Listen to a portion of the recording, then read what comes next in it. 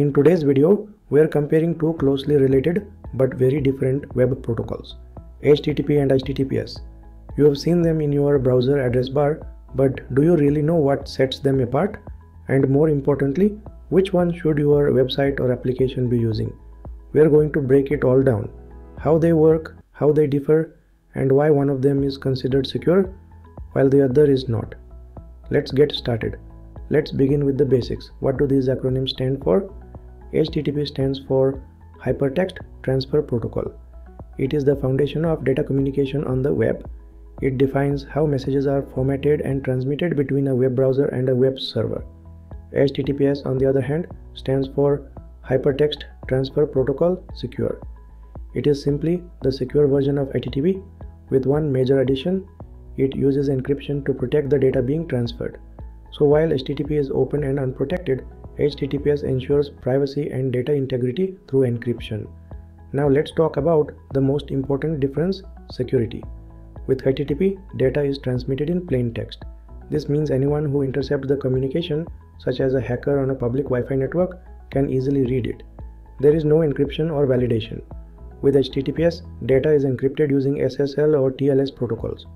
Even if someone intercepts the data, they cannot read or tamper with it. The connection is secure, private, and trustworthy. This is why HTTPS is considered essential for any site that handles login details, payments, or personal information. Every protocol uses a specific port number to communicate. By default, HTTP uses port 80 while HTTPS uses port 443. This difference is handled behind the scenes by your browser and server. But it's important to know especially when configuring firewalls or server rules. Another key distinction is the use of SSL certificates. HTTP does not require any certificate. This makes it easy to set up but also easy to exploit.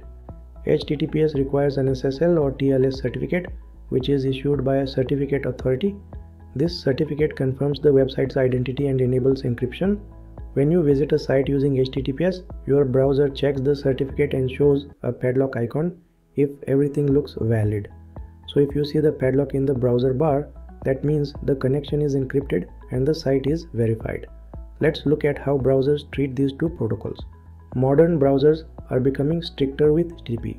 If a website uses HTTP and tries to collect passwords or credit card info, the browser will often display a not secure warning in the address bar.